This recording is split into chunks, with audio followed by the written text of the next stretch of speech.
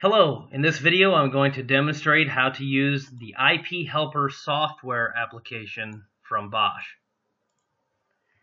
This tool is particularly helpful during initial system setups. IP Helper is an executable which means that no software installation is required.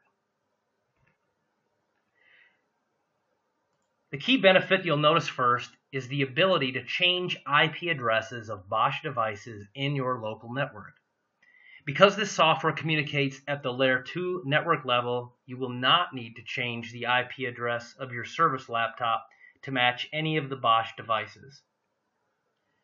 Nearly all Bosch IP cameras ship from the factory with a default IP address of 192.168.0.1. To change one or several cameras at a time, place a check mark in each of the respective devices.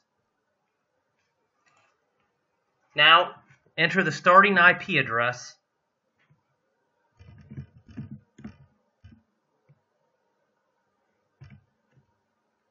You'll notice that subsequent IP addresses will be assigned chronologically based on the quantity of cameras that you've selected.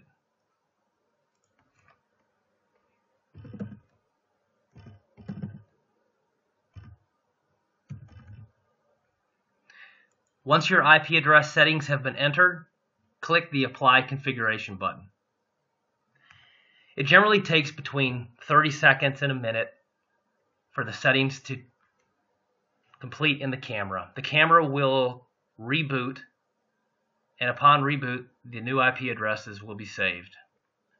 Please note that if you have assigned a password into the camera, it is possible that the IP helper may not be able to change the IP address successfully, in which case you will need to access the browser directly to make the IP address change.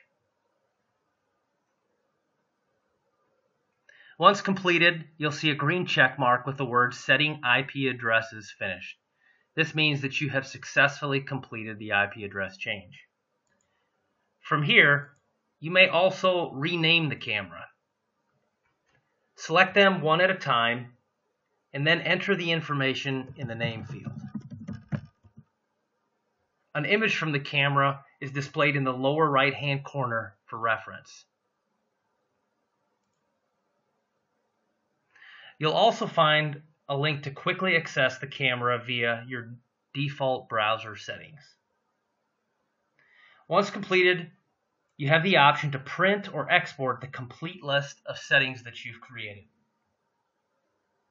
We hope you find the IP Helper a useful tool in your project. Thank you.